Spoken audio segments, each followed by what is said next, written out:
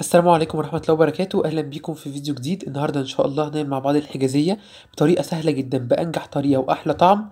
عايز أقول لكم إن هي مقرمشة بس مش ناشفة وسكرها مظبوط جدا جدا. شكلها وطعمها أحلى من الجاهز. عندنا المقادير أنا هعمل النهاردة يا جماعة صينية صغيرة مقاس 24 فده كده يعتبر نص المقدار. هحتاج كوباية إلا ربع دقيق أبيض وكوباية وربع دقيق سميد ونص كوباية زبدة على زيت وربع كوباية سكر أبيض وربع كوباية مية دافية هعجن بيها ومعلقة صغيرة خميرة فورية ونص معلقة صغيرة baking powder.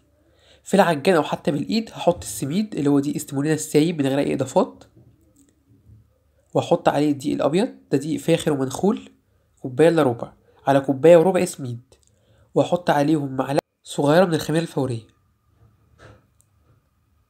وكمان نص معلقة صغيرة من ال baking powder. والسكر ربع كوباية. وهقلب كويس قوي يبقى السميد كوباية وربع والدقيق الأبيض كوباية إلا ربع والخميرة وال baking powder معلقة صغيرة ونص معلقة صغيرة وربع كوباية السكر. بعدين هبدأ أنزل عليها كده بالزبده مع الزيت. أنا هنا عملت mix ربع كوباية زبدة Lurpak طبعا ممكن أي نوع وربع كوباية زيت عافية. هبدأ بقى كأنها بس كويس قوي الدقيق ده مع الزبدة والزيت بالشكل ده كده ممكن بالإيد أو حتى بمعلقة. وبعدين هنزل عليه المية الدافية تكون دافية. احتجت تلت كوباية. يعني أنا الأصل ربع كوباية بس ممكن تزوده شوية. على حسب ما تكون عجينة طرية وملمومة. ده كده أول ربع كوباية. ونقلب ونشوف. بصوا لأ محتاجة شوية كمان. ناشفة شوية. بتفرول فهحط كمان يعني معلقة كبيرة. وهرجع أكمل عجن. مش بعجنها خالص. أنا بس يدوبك بقلب. مش بعجن. يعني بصوا على أقل سرعة بمزج بس كأنها إيدي بالظبط. أدخل بس السميد والدقيق مع المية. أو اللبن على فكرة ممكن كمان يبقى لبن دافي بدل المية. يعني زي ما أنتوا عايزين. بصوا كده عاملة إزاي؟ بلمها. وكده حطيت بالظبط ربع كوباية مية وكمان معلقتين كبار.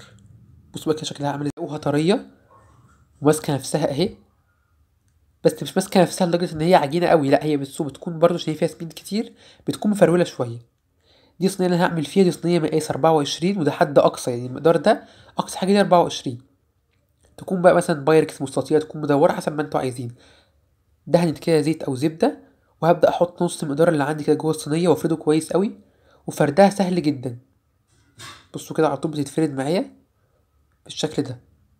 ممكن تخمروها الأول. أنا بصراحة بكسل أعمل كده بحب يعني الموضوع يبقى أسرع. بفرد وبعدين أخمر في الآخر خالص مرة واحدة. بصوا كده فردتها بالشكل ده بس ممكن يكون رفيع شوية مش سميك قوي. ونيجي بقى هنا نعمل الحشوة.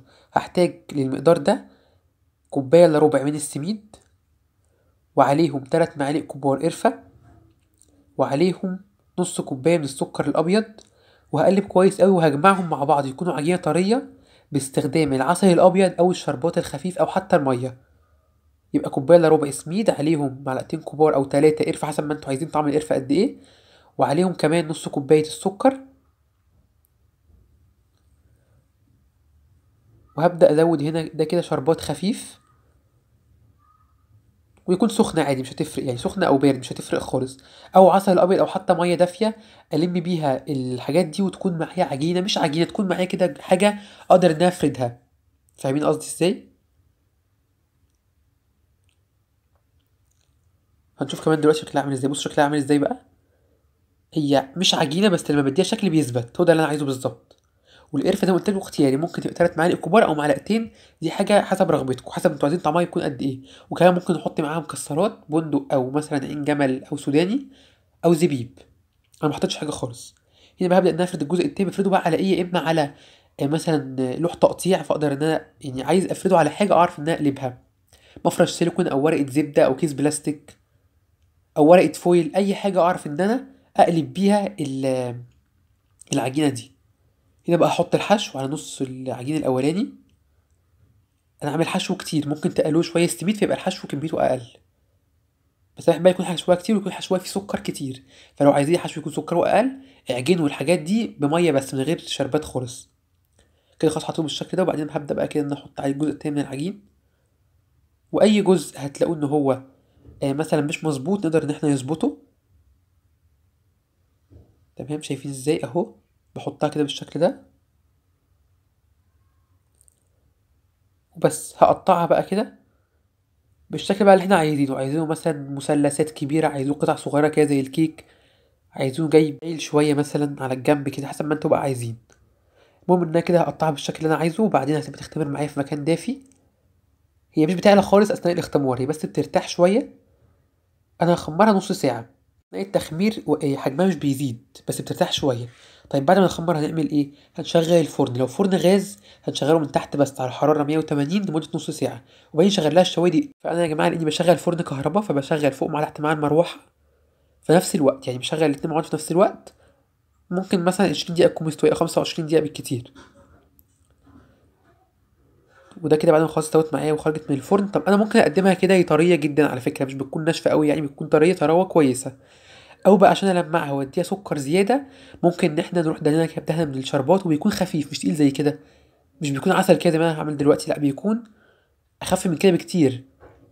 مجرد بس إن هو يديها سكر ويديها كمان طراوة ويديها كمان آه لمعة. فأنا بصراحة ما كنتش محتاج كده بس هعمل كده عشان أوريكم الشكل بتاعي يكون حلو بس تكون بتلمع كده في التصوير وفي الكاميرا يطلع شكلها حلو. عشان بس الفيديو لكن أنا في العادي بصراحة لما بعملها بكتفي بالسكر اللي في العجينة وكمان اللي في الحشو. لو حبيت زي ما قلت لكم يعني كده بالشربات يكون خفيف وبيكون بارد مش سخن خالص بيكون شربات خفيف وبارد. زي ما قلت بيدي لمعة وطراوه وكت- وطبعا سكر إضافي يعني سكر زيادة عن في العجينه وبس كده. ده كده يا جماعة الشكل النهائي ليها. عايز أقول لكم يا جماعة إن هي بجد والله كان طعمها أحلى بكتير كمان من الجاهزة. وسكرها كان مظبوط من غير الشربات طبعا عشان بس أبقى كلامي واضح يعني. السكر بتاعها بيكون حلو من غير الشربات. وكانت طريه مش ناشفة قوي. وبجد بجد كان طعمها أحلى كمان من بتاعت المحلات الجاهزة. هتجربوها إن شاء الله وتعجبكم. وده كان فيديو النهارده. بكره إن شاء الله فيديو جديد. والسلام عليكم ورحمة الله وبركاته.